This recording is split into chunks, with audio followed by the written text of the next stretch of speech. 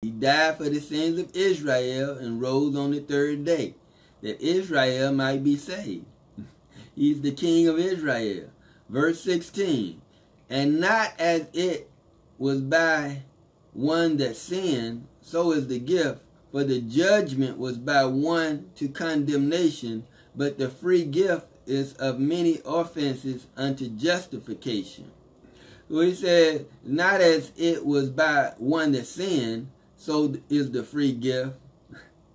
the gift is free. It's for, it's for Israel. It wasn't by everybody that sinned. It's only by Jesus. For the judgment was by one to condemnation. The condemn one person sinned, and that's brought on the condemnation. But the free gift is of many offenses unto justification. The free gift covers all the sin, not just one, all the all, all the offenses unto justification. Thanks be to God. Verse 17.